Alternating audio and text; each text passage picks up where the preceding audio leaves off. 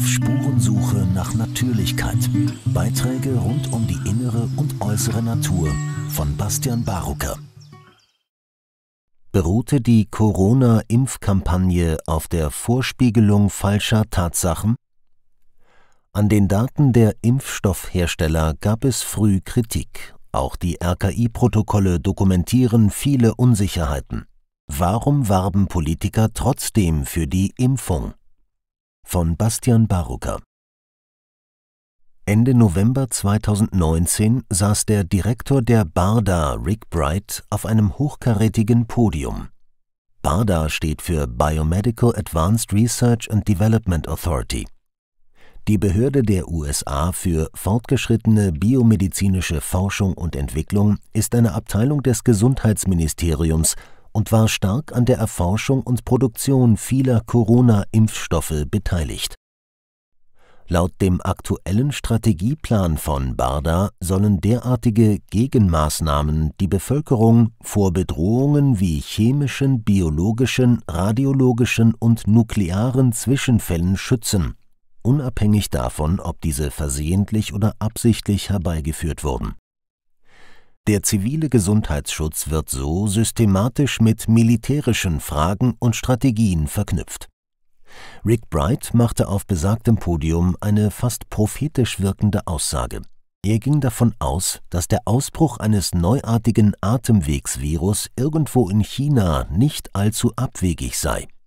Solch eine Disruption könne den Umschwung von traditionellen zu mRNA-Impfstoffen herbeiführen eine erstaunliche Prophezeiung, die die Frage aufwirft, ob im Rahmen der Corona-Impfkampagne diesem lukrativen Umschwung politisch nachgeholfen wurde. In Deutschland wurden insgesamt 672 Millionen Impfstoffdosen bestellt, acht für jeden Bundesbürger jeglichen Alters. Die Bestellung beläuft sich auf einen Wert von 13,1 Milliarden Euro. Die Kaufverträge waren lange Zeit geheim. Die EU-Kommission hatte die Verträge rechtswidrig geschwärzt. Dass viel zu viel Impfstoff bestellt wurde, ist offensichtlich. In der EU wurde abgelaufener Impfstoff im Wert von 4 Milliarden Euro vernichtet. Zugleich hat Lauterbach kürzlich verkündet, schon wieder 15 Millionen Dosen Impfstoff gegen Corona bestellt zu haben. Doch fragwürdig ist nicht nur die Überbestellung von Impfstoffen, sondern auch, wie aggressiv die Impfung von Beginn an beworben wurde. Immer wieder wurde die Impfung als bis zu 95 Prozent wirksam und sehr sicher angepriesen. Frühe Kritik an den Studien der Impfstoffhersteller. Allerdings gab es laut dem Epidemiologen, Biostatistiker und ehemaligen Harvard-Professor Martin Kulldorff keine Hinweise auf eine Verringerung der Sterblichkeit. Zitat Die mRNA-Impfstoffe wurden auf der Grundlage eines Rückgangs der symptomatischen Infektionen und nicht der Sterblichkeit zugelassen. Es ist unentschuldbar, dass Pfizer und Moderna ihre RCTs, also randomisiert kontrollierte Studien, nicht so angelegt haben, dass sie feststellen konnten, ob die Impfstoffe die Sterblichkeitsrate senken, denn das hätten sie leicht tun können.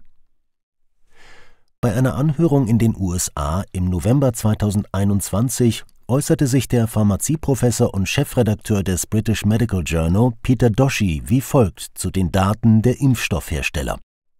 Mir geht es darum, dass diejenigen, die behaupten, die Studien hätten gezeigt, dass die Impfungen sehr wirksam wären und Leben retten würden, falsch lagen. Das haben die Studien nicht gezeigt. In der Zulassungsstudie des ersten BioNTech-Präparats Comirnaty gab es in der Gruppe der rund 19.000 Geimpften neun Covid-Fälle, 0,05 Prozent. In der Placebo-Gruppe mit der etwa gleichen Anzahl an Teilnehmern gab es 169 Covid-Fälle, 0,9 Prozent. In beiden Gruppen ist nur ein kleiner Bruchteil der Personen überhaupt betroffen und die für die Pandemie relevanten Messgrößen schwerer Verläufe, Corona-Todesfälle und Weitergabe des Virus wurden nur zweitrangig untersucht. Comirnaty erhielt dennoch eine Zulassung von der Europäischen Arzneimittelbehörde EMA. Die EMA wird übrigens zu 86 Prozent über Gebühren von der Pharmaindustrie finanziert. Ende Dezember 2020 startete die Impfkampagne. Ein Jahr später wurden durch eine Whistleblowerin unzulängliche Verfahrensweisen während der Studie bekannt, die die Zuverlässigkeit der Pfizer-Daten in Frage stellen. Der Facharzt für Hygiene Dr. Kampf schreibt in seinem Buch über die Impfpflicht, er habe die Fachzeitschrift New England Journal of Medicine, die die Studie veröffentlicht hat, auf Unstimmigkeiten hingewiesen und das Magazin dazu aufgefordert, die Studie zurückzuziehen. Er habe keine Antwort bekommen. RKI-Protokolle. Politischer Entschluss ist schon längst gefasst. Ungeachtet aller Ungereimtheiten traten Politiker unzählige Male vor Mikrofone und propagierten die Wirksamkeit der Impfung. Dr. Helge Braun, Arzt und damaliger Kanzleramtsminister, behauptete im ARD Morgenmagazin im Juni 2021 gegen jegliche vorliegende Evidenz, dass die Impfungen eine sterile Immunität vermitteln würden. Im November 2020 hieß es in den RKI-Protokollen noch, sterile Immunität nach Impfung nicht bewiesen. Die damalige Bundeskanzlerin Angela Merkel verlautbarte im September 2021 im Deutschen Bundestag: Zitat: Impfen wirkt, man schützt sich und die Liebsten. Impfen bringt uns die Freiheit zurück. Und aus diesem Grunde möchte ich auch von dieser Stelle heute noch einmal alle, die noch nicht geimpft sind, bitten, lassen Sie sich impfen. Sie leisten damit für sich und unsere gesamte Gesellschaft einen ganz wichtigen Beitrag, den Weg aus dieser Pandemie zu finden. Zitat Ende. Wirtschaftsminister Robert Habeck rief im November 2021 dann sogar dazu auf, zu impfen bis die Nadel glüht. In den RKI-Protokollen heißt es kurz darauf, politischer Entschluss ist schon längst gefasst Oberste Priorität, so viele Leute so schnell wie möglich impfen. Das galt offenbar auch für Kinderimpfungen. In den RKI-Protokollen vom 21. Mai 2021 heißt es, Pädiatrische Fachverbände stehen der Impfung von Kindern zurückhaltend gegenüber. Politik bereitet bereits Impfaktionen vor, damit die entsprechenden Jahrgänge zum Ferienende geimpft sind. Auch das also ein politischer Entschluss? Wann und wie diese Entschlüsse gefasst wurden, ist weiter unklar. Auffällig ist jedoch, dass Robert Habeck bereits im April 2020, also noch vor dem Start der Impfkampagne, notfalls eine Corona-Impfpflicht befürwortete. Im März 2024 gestand Ex-Kanzleramtsminister Braun ein, die Regierung habe die Wirkmächtigkeit der Impfstoffe anfangs zu hoch eingeschätzt. Zitat wir haben das Impfen als eine Lösung für den Ausstieg aus der Pandemie beworben und eine Erwartung geschürt, die wir am Ende nicht erfüllen konnten. Im Spiegel heißt es weiter, Gestützt auf einen ersten Bericht des Robert Koch Instituts sei man davon ausgegangen, dass Geimpfte auch vor Ansteckung sicher seien. Auf Nachfrage konnten das RKI und Helge Braun nicht beantworten, auf welchen Bericht des RKI man sich damals bezogen haben will. Was rechtfertigte die massive Impfwerbung? Es bleibt also unklar, wie man überhaupt auf die Idee kam, eine solch hohe Wirkmächtigkeit der Impfstoffe zu propagieren.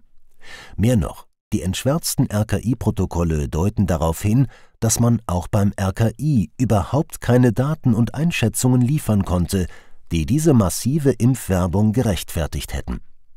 Noch vor der Impfkampagne im Oktober 2020 sagte der damalige Präsident des RKI, Lothar Wieler, in einem Interview, dass Impfstoffe zugelassen würden, aber unbekannt sei, wie und gut diese wirkten.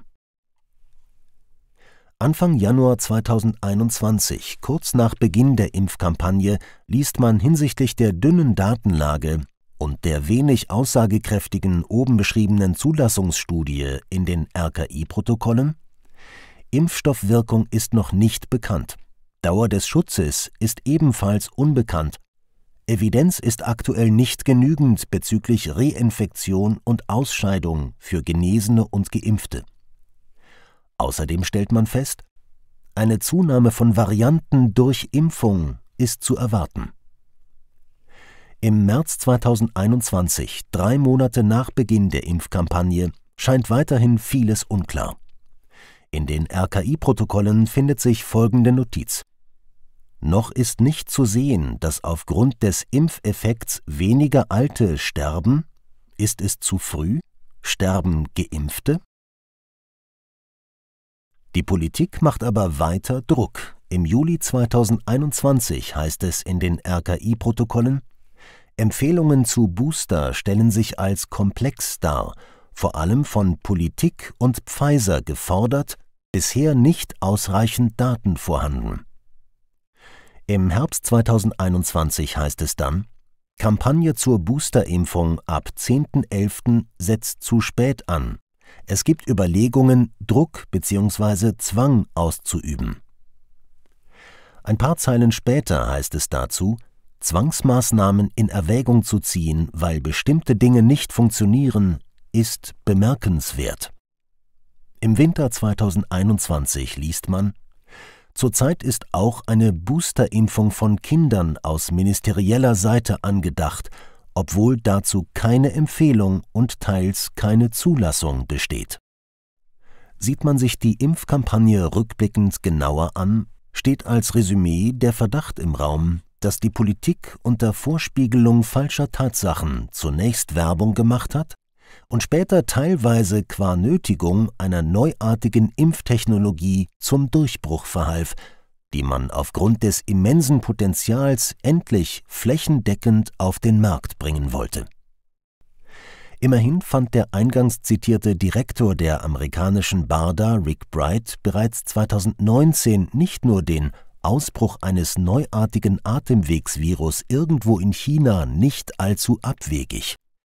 Er diskutierte auch die Frage, ob und wann es einen Übergang von der traditionellen langjährigen Impfstoffherstellung zu einer Art synthetischer Produktion geben werde.